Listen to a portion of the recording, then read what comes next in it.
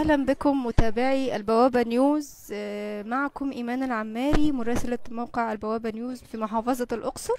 النهاردة إحنا في منطقة الشيخ أبو الجود آه، بمحافظة الأقصر. معانا حكاية أغرب من الخيال. آه، حكاية عم حسن اللي اكتشف بالصدفة إن هو غير موجود في أوراق الحكومة وإنه متوفي يعني من حوالي 13 سنة. بالصدفة وهو رايح ينتخب فلقى إن اسمه مش موجود في الانتخابات وبعد كده آه، بدأت رحلته المريرة في إثبات إن هو مش متوفي.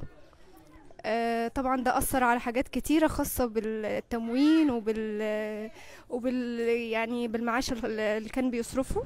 فمعانا النهاردة عمو حسن اللي هو آه، عمو حسن مصطفى عبد السميع آه، عنده ولدين وثلاث بنات. ومقيم في منطقة أبو الجود. النهاردة عايزين ندخل نشوف حكايته إيه.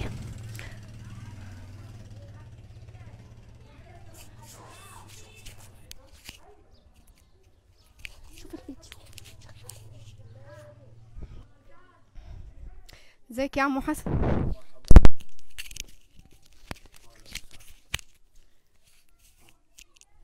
مساء الخير. أهلا مساء الخير. ممكن تحكي لنا حكايتك النهارده؟ والله أنا من قبل الثورة بحوالي شهرين ثلاثة وأنا ما عنديش أي فكرة ولا أي معلومة في الدنيا اللي خلقها رب. راح أشتغل في حاجة اسمها انتخابات الأعضاء في الأيام اللي هي بقى في, في في نفس الثورة هي كانت. فاكرها أنا دي. فرحت أنتخب عمك. فرحت أنتخب. لما جيت أنتخب راحوا إيه ضربوا على الكمبيوتر قالوا لي أنت ساقط انت ميت يا عم الحاج. كيف ميت؟ قال أيوه انت مكتوب عندنا حسن مصطفى عبد السميع ميت. وراحوا ممشيني. هم ممشيني. جيت هنا لعيالي بقول لهم يا عمي كيف أنا ميت؟ شوفوا لي الدنيا. ولدي اهمل شوية يعني ما خدش يعني الأيام فترة كده ولدي يتحرك. قلت له ولدي بكرة وبعده لو مت ولدي. تاجي تطلع لي تسريح إزاي؟ وأنا مكتوب ميت. بس. فأنا إزاي أموت وإزاي ميت وعلى قيد الحياة؟ راحوا برضو حصلت مشكلة في الشارع. رحت طلعت البندر. خدوني من ضمن الحكومة. تعال يا حج عشان أنت ع- راجل كبير عشان خاطرك ممكن نسامحهم مش عارف إيه. رحت هناك خدوا أساميهم جو يخطبوا ياخدوا اسمي. ضربوا على الكمبيوتر برضو لقوني ميت. راحوا قالوا عم أنت لا. تبارك الله فيك. مش هنقدر نتحمل مسؤوليتك. أنت روح. ومشوني من البندر. برضه رحت مكتب التومين بتاع ال- ال- ال- ال- المعين العيالي. برضه كتبوا عليني ضربوا على الكمبيوتر لقوني أنا ميت. وتعالي سعادتك دلوقتي أوديك مكتب تومين أوديك لبتاع التومين أوديك لأي حد يضربوا على الكمبيوتر أنا متوفي. وأنا على قيد الحياة. إزاي أنا متوفي وأنا على قيد الحياة؟ وعايز أشوف له حل عشان خاطر يعني. وبعد كده باخد كنت عمك معاش. باخد 750 800 الله أعلم. والله ما كنت أعرف اعدها أم أحمد اللي بتعد معاش ابويا عشان أنا على باب الله يعني عمك من يومي. ما معيش لا شغل ولا مشغلة. بين الله الله الله وحضرة النبي.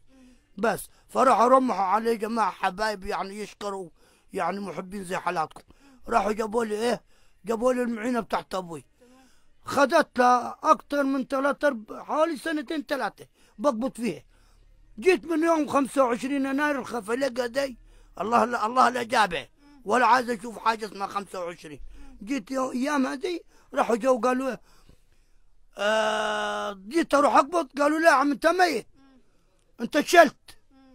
وقفوني يا عمك لغايه دولك معد لغايه دولك لا باخذ جنيه من حكومة ولا باخذ جنيه من أي حد ولا عيالي غير غير فضلي على الله ورزقي ورزق عويلاتي والوليها بتسعى جابت لها شوية كراتين بسكويت على كراتين شيبسي بتبيع في الشارع ومشي البيت.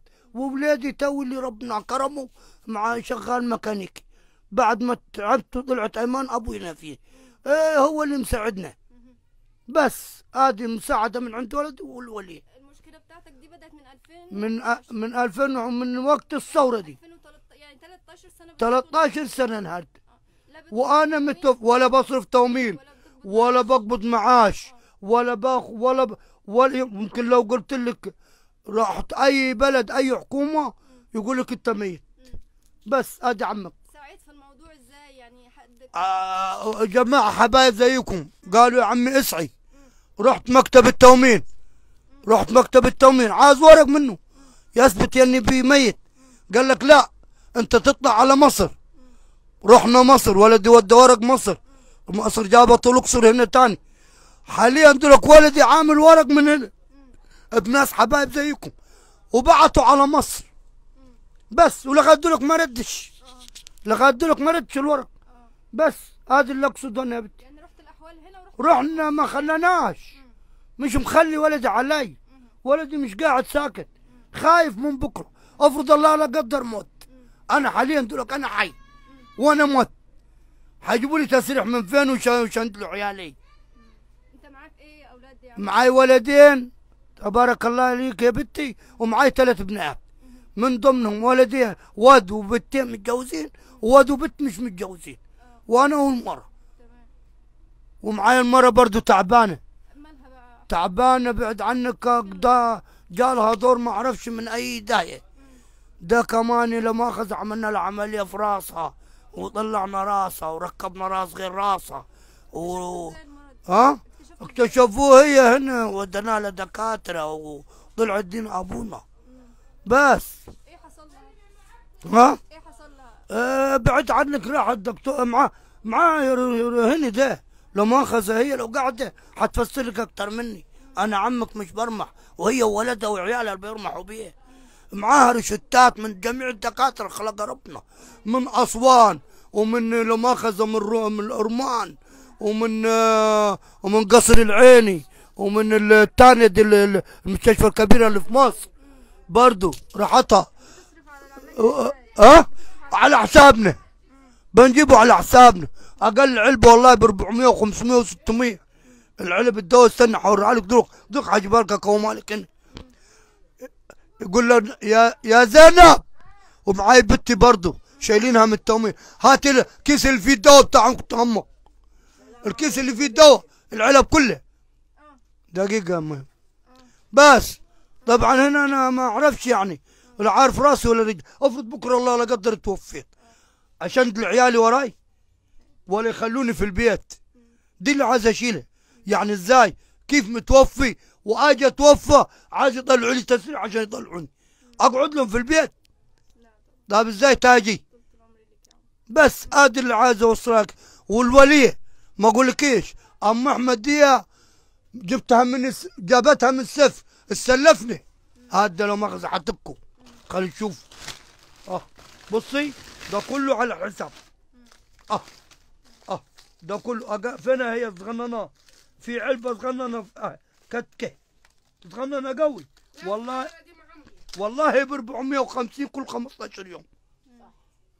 والله ب 450 كل 15 يوم. طب أنا حجيبه من فين ده؟ أنا حنجيب له من وأنا وأنا راجل ميت ومستفتيني في أي فلوس. ومش بقبض فلوس. من يوم ما توفيت من يوم ما كاتبيني متوفي. لا باخذ من الحكومة ولا باخذ من أي حتى خلقها ربنا. وآدي الجيران كلها الشارع برا. يقول لك حسن متوفي. الشارع برا. يا أبوي حسن مين؟ ومسميني حسن كمان كلمة حسن مجنون. ما لي بيها كلمة مجنون ولا جن ولا العاقل. يا ريت مجنون بس يخلوني حي في الحكومة. والله العظيم. كله ده بتص- بتصرفوه من فلوسكم؟ من فلوسنا الخاص. كله ده. مش بتقدروا إنكم مش بنجيب معناها ما, ما فيش. وما طب من فين حنجيب أنا من فين حجيب دلوقتي ولادك على أول طالع دين أبو. والله العظيم يا محمد طالع دين أبو يا شيخ. وأنا. شفقان على ولدي برضه يعني حيشيل بيته بعويلاته ولا حيشيل نحن. يعني حرام برضه المساعدة حلوة. يعني قرشيني أنا اللي كان ياجوا كان يسطروا شوية في شوية المية في شوية النور. شايل منه هم شوية. لكن دولك ما فيش. دولك كله على محمود.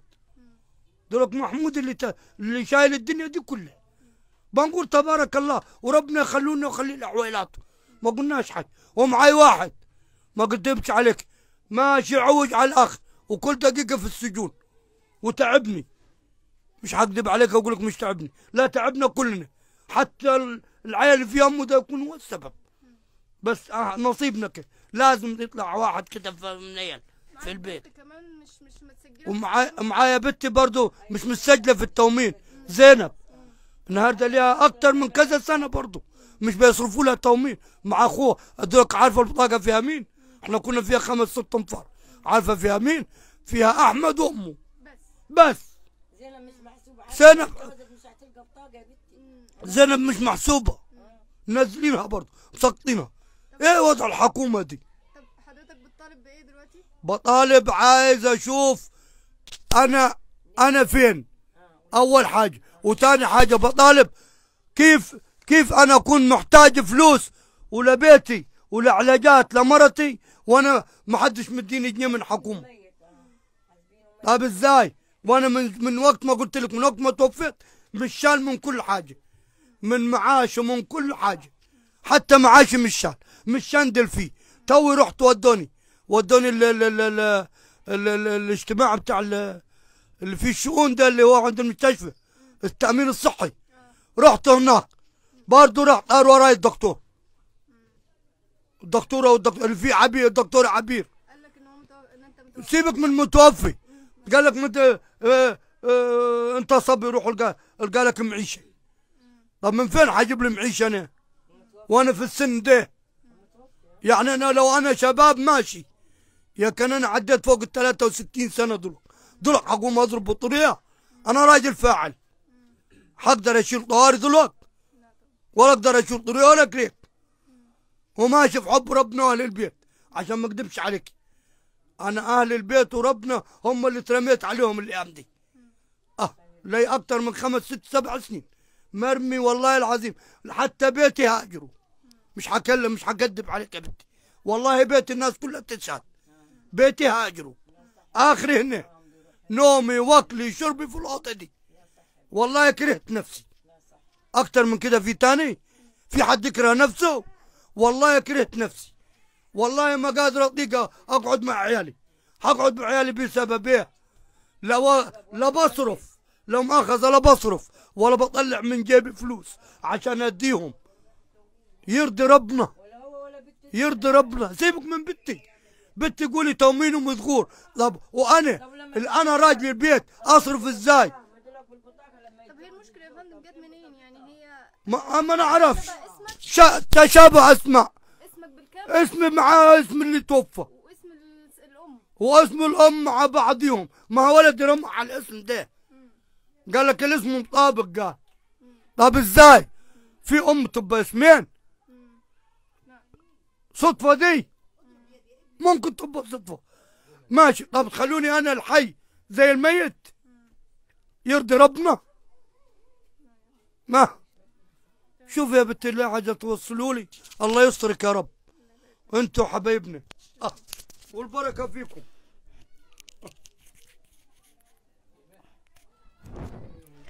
دي دي. آه، دي كانت مشكلة عم حسن. عبد السميع آه، اللي آه، متوفي في أوراق الحكومة وهو على قيد الحياة وإحنا هنا برضو معانا آه، جيران عم حسن ممكن يحكوا لنا هنا في شارع منطقة أبو الجود يعرضوا لنا برضو مشكلة عم حسن. معانا ممكن حضرتك. زينب حسين زينب حسين عبد الرحيم. ساكنة. تقول لنا مشكلة عم حسن؟ آه ساكنة أنا جنبه بالضبط ونسيبنا يعني واخد بنت بنتي. بعد كده يعني على حاسبينه ميت يعني ولا بنته بتاخد بطاقة ولا حاجة لما تتجوز ما تقدرش تاخد بطاقة. آه. وما حاسبينه ميت يعني من زمان الصراحة. مش بيلقوا علاج يجيبوه الصراحة ولا حاجة يجيبوه. بس يا بنتي يعني الراجل عايز بطاقة تطلع له تطلع لبنته لما تجي تتجوز. لما تجي تتجوز تلقى لها بطاقة بدل ما, ما تتجوزش يا بنتي. وهو الراجل قاعد في حب الله يعني. هم اللي بيدوا له. ساعة يروح ام هاشم ساعة يروح السيدة زينب أي حاجة. يا غادة خدي. لا تعالي بس تعالي دقيقة. بس يا بنتي يعني. فعايز يعني الراجل يز... أيوه ومش موجود يا بنت فعايز ربنا يديله يا بطاقه تطلع له اسم يطلع له. عشان في لما يتوفى عياله ما يحتاجوش يعني ولا ي... ما يلقوش بطاقة ليه. ولا البت دي الكبيرة يعني. هتتجوز إزاي؟ مراته فعلا بتعاني آه بعيد عنك هي تو اللي قامت تمشي. راحت أسوان. و- وكشفت عند الدكتور ده اللي في التلفزيون وقال لها العلاج بكد كذا قالت له أجيب من فين؟ أخوها معاه أخ يعني عاجز برضه بعيد عنك. فتح له دكان ساعتها بسيط وبعد كده ما لقيش تاني يا بنتي والله. بس يا بنتي. آه ربنا معاهم يعني يتولاهم يا بنتي والله. وولده المتجوز في في يوم وما فيش يعني ربنا يتولانا ويتولاهم يا بنتي. آه يا بنتي متشكرين شكرا لحضرتك آه، معاكم متابعي البوابة نيوز. عرضنا النهاردة قصة عم حسن مصطفى عبد السميع آه، اللي مكتوب أو اللي آه، متوفي في أوراق الحكومة من 13 سنة تحديدا عندما اكتشف عدم وجود اسمه في أوراق الانتخابات. ومن هذا التاريخ آه، سقط اسمه من أوراق التموين ولم آه، يحصل على على معاش من الدولة من منذ هذا التوقيت.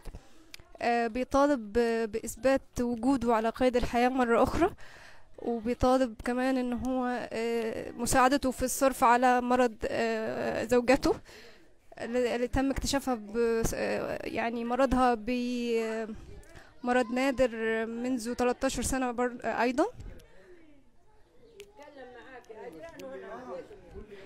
آه، معانا هنا برضو حد تاني يثبت لنا من الجيران عم حسن يثبت لنا إن هو المعاناة التي يعاني منها. أيوه مكتوب متوفي وخدوه قبل كده الحكومة وطلعوه تاني برضو إن هو عشان متوفي. إزاي إن هو متوفي يعني هو هو الشخص قدامك؟